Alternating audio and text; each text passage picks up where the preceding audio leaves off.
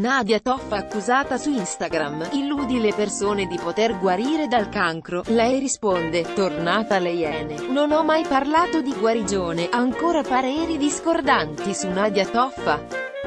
La Iena, da quando ha dichiarato di aver avuto un cancro dopo essere tornata in tv all'inizio del 2018, ha ricevuto moltissimi messaggi di sostegno, ma anche voci fuori dal coro, che l'hanno accusata di non aver parlato dell'argomento in maniera corretta. Nelle ultime ore su Instagram una utente si è scagliata contro la toffa, accusandola di aver illuso i malati di poter guarire con facilità dal cancro.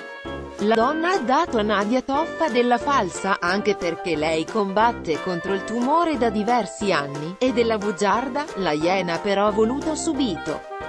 puntualizzare, l'utente che l'aveva attaccata, davanti a queste parole si è ricreduta, anche perché la Toffa, quando parlò del suo ritorno in tv, non aveva toccato l'argomento, guarigione.